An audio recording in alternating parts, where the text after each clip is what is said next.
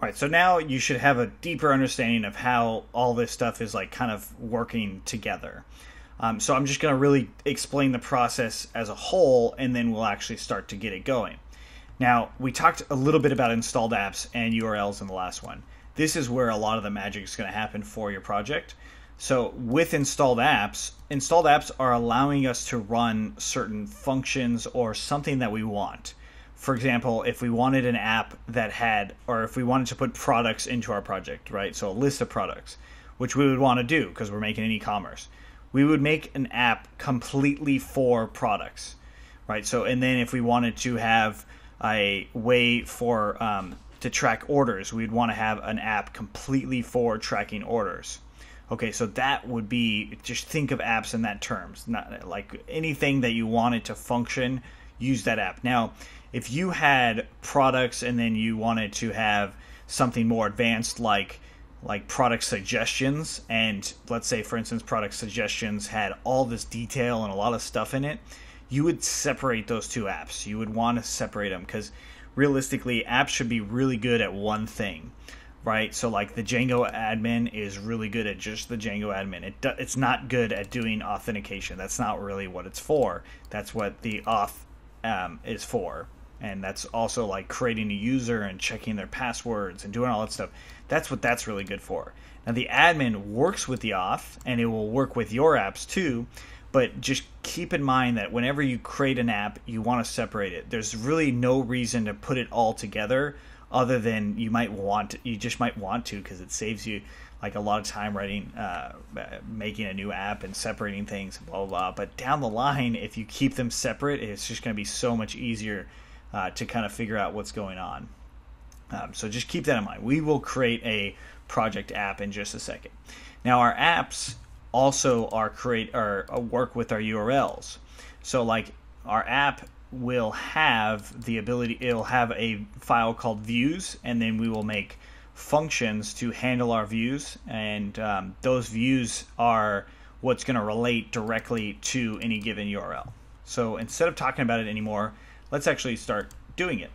All right, now when we create an app, we'll do python manage.py and you do start app and whatever the app name you want to call it. In this case, I'm going to call it products. And I'm using plural instead of singular, right? So I'm not calling it product, I'm calling it products because it's really going to encompass all of our products, right? That's what it's all about. So we're going to call it that.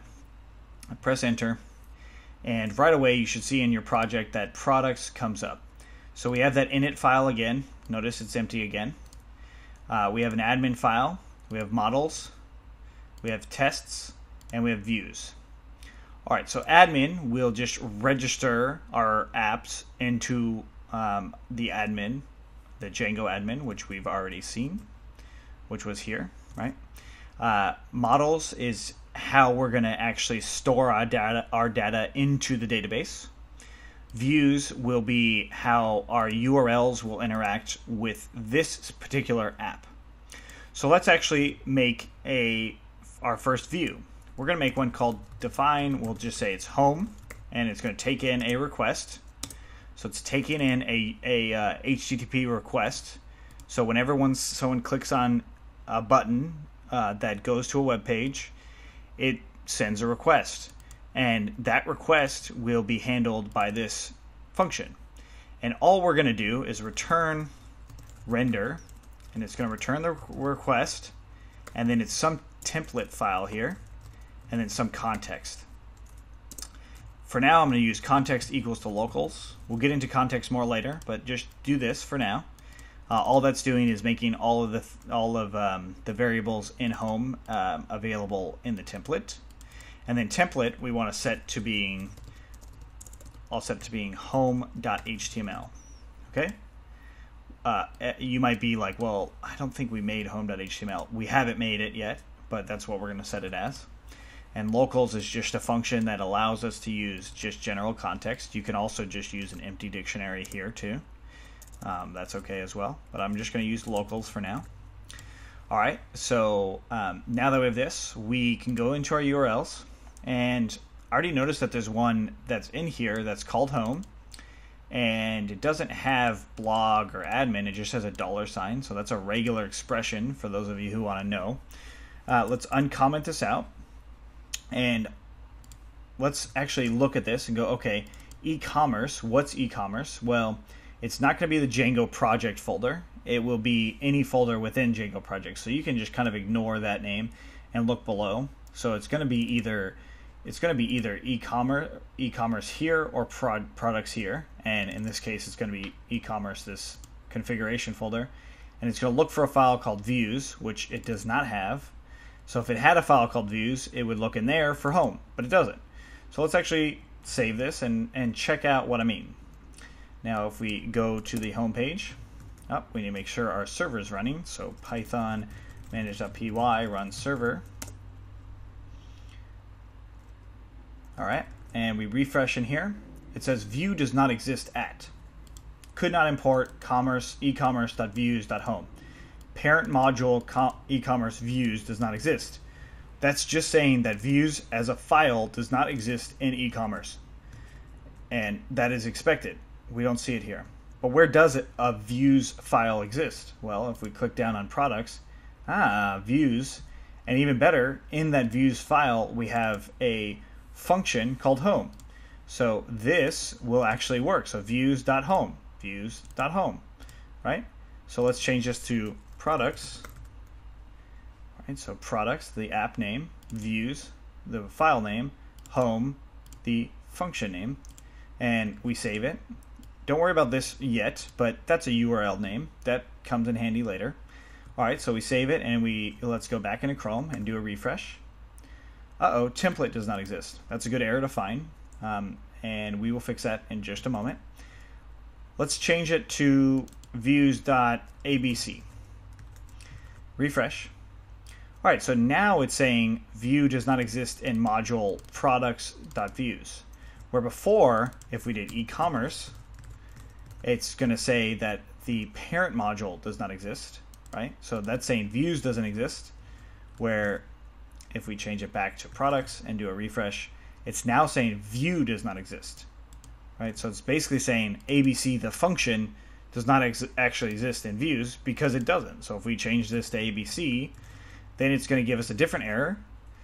Home does not exist. So home template home does not exist.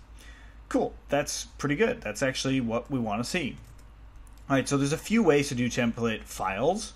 Um, I'm going to do a easier way for you at this point. And in our products folder or products app, we can add a new folder in here called templates.